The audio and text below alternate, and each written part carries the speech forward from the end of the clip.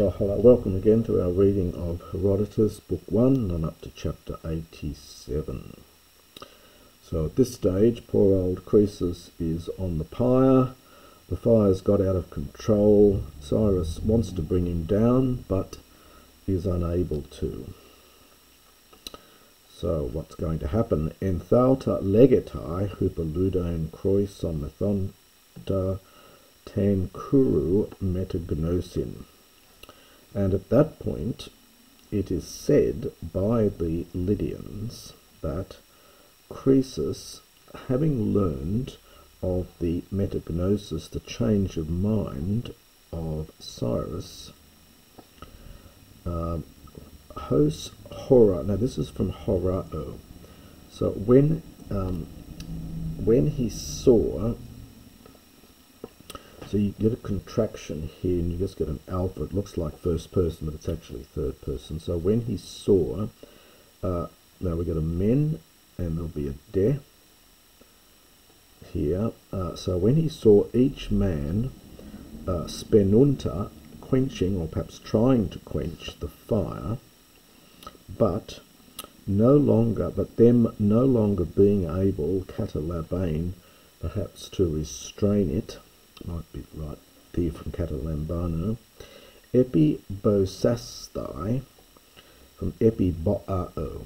So he called out, uh, calling upon Apollo. Uh, Aetihoi kekarismenon ek autu edorethe. Uh, so, uh, oh, so if, now I think the t goes, this is enclitic, which is why the, uh, got the accent on t, and I think that goes with the uh, kekarismenon in the sense of pleasing. So if any pleasing thing had been given as a gift, hoi to him, that is Apollo, ex autu from him, i.e. from Croesus. So he calls upon Apollo if any pleasing thing had been given to him from the hand of Croesus. So he called upon him Paris uh, Stanai to stand beside him, Kairusas their men, and to save him from his present trouble. Tonmen Dracruonta, so they say that he called uh, upon the god uh, in tears. So they say that he was weeping as he called upon the god. Now we get a nice men, and there's our death. Uh, but uh, ek Ithrias. Now, Ithria is a clear sky. So, from a clear sky and from ne nemia. Now, this is the ne, the negative, plus animos, so cloudless. So, from a clear and cloudless sky, understood, uh, ex apines, suddenly, nephia.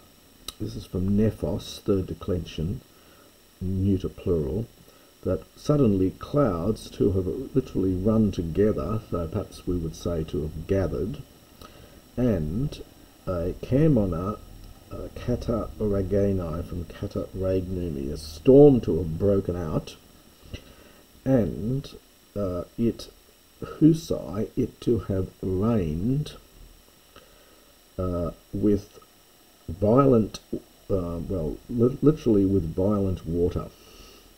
So it to have rained uh, with uh, a violent um, water storm, perhaps we'd say. So a storm to have broken out and violent water to have fallen. Uh, and they say that this kata uh, that they say that this is an aorist passive here uh, from kata spenumi, and that the pyre to have been quenched, catus, uh. So that they say the fire was quenched.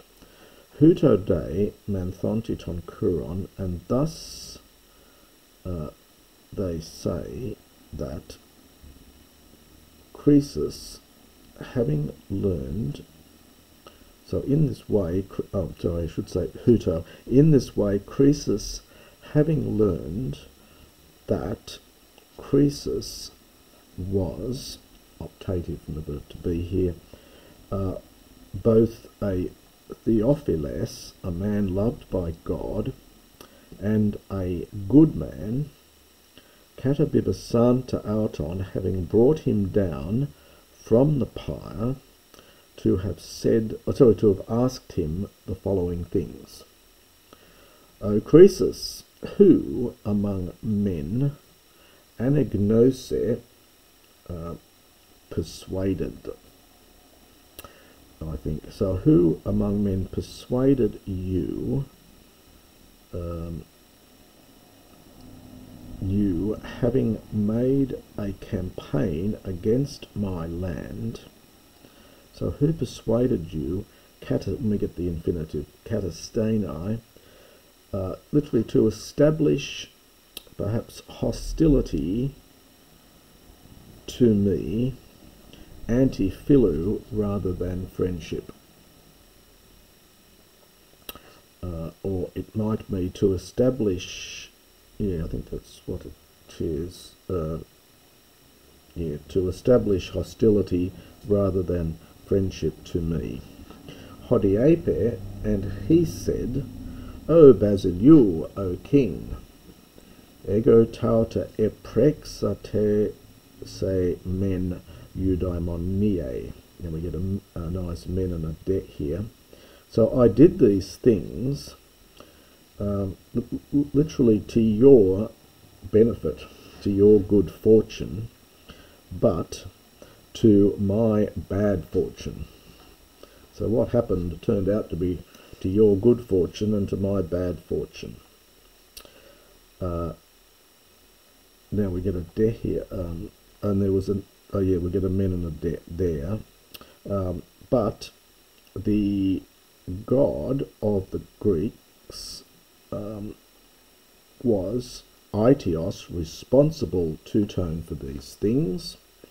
Eparas, from Epiro, well, having stirred me up, having incited me, uh, Stratuesthai, to make the campaign. Ude Scarhuto, and not etos esti, for no one is so stupid, whoever hiereti, whoever chooses, uncontracted form here, whoever chooses war in place of peace. And we get this very nice little construction here. We've got a men and a de, and we've got a te and a toe.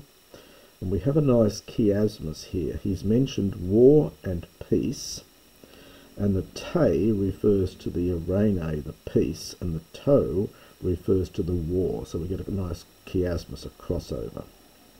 So no one is so stupid that they would choose war instead of peace, for in peace, so in the in in the first one, that is well, sorry, in that one, in peace, the sons Thaptusi bury their fathers, but in the second, nice men and death here, and in the second, that is in, not the second, sorry, in the other one, in war, the fathers understand bury their children.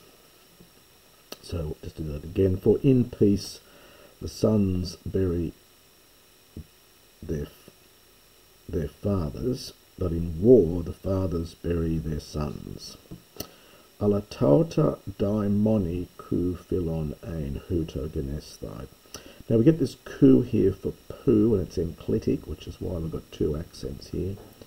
So something like perchance these so but perchance these things were dear to the god to take place huto in this way. So perhaps it was dear to the gods for these things to happen thus. And that's chapter 80 or section 87.